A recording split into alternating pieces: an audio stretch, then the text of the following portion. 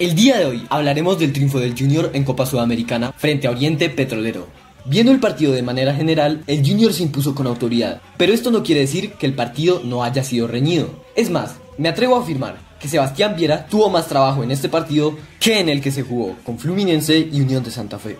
Con solo ver las estadísticas, vemos que en los anteriores partidos de Sudamericana, el Junior había recibido 5 disparos al arco en cada partido, mientras que en este recibió 8.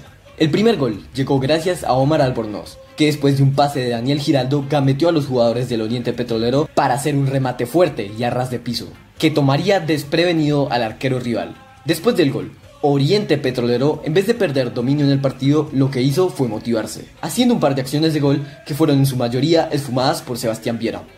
Ya en el segundo tiempo, Oriente hizo una jugada de laboratorio, en la que engañarían a la defensa del Junior por medio de un tiro libre, el cual parecía que iba a ser un centro, pero terminó siendo un gran pase, que nadie del Junior se esperaba, el cual el jugador Luciano Guaycochea no desperdiciaría y lanzaría un fuerte remate, el cual Viera estuvo a punto de atajar, pero por la velocidad de este terminaría siendo inatajable para el uruguayo. Y así llegó el empate de Oriente. La acción de desempate llegaría varios minutos después. Inestrosa hizo un excelente pase a Borja, creando una gran acción de peligro, Borja remató, pero el arquero rival estuvo atento y atajó. Sin embargo, por la potencia del disparo, el arquero no pudo esfumar completamente el peligro. El rebote le quedaría a Omar Albornoz, el cual corrió hacia el balón y terminó chocando fuertemente con el poste. Sin embargo, en el último instante logró rematar, ya que afortunadamente el balón le quedó cerca después de que Albornoz se golpeó con el poste. Ya en los últimos minutos, un jugador de Oriente Petrolero robaría el balón, pero para su mala suerte le cayó a Freddy Nestroza, el cual definiría desde fuera del área. Los jugadores que destacó de este partido son primero Omar Albornoz, que aportó en ataque y marcó dos tantos. El segundo, Inestrosa, que nunca tiene un mal partido, y ayuda en la creación de juego y en la ofensiva del Junior, aportando en dos de los tres goles.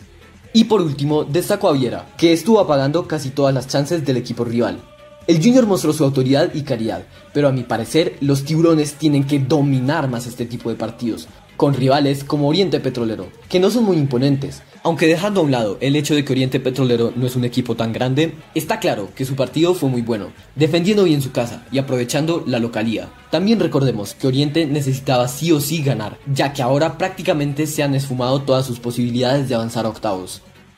El resultado del partido es muy favorable para el Junior. Gracias a este triunfo, Junior se ubica de líder en el grupo H, lo cual es indispensable para avanzar en esta copa, ya que solo pasará a octavos el primero del grupo.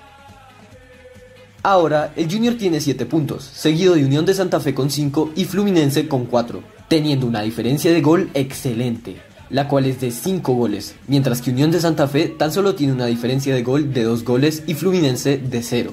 Ahora sigue el partido más difícil del Junior en toda esta Copa Sudamericana, contra Fluminense de visitantes en el Maracaná.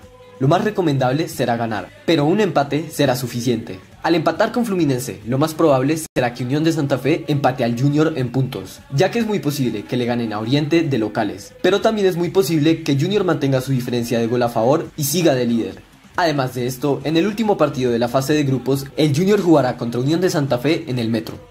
Y si por alguna razón Unión de Santa Fe sigue en la disputa con Junior por el liderato, el tiburón tendrá la oportunidad de asentarse como líder definitivo en este encuentro, si es que gana este partido y el anterior contra Oriente Petrolero, también en el Metropolitano.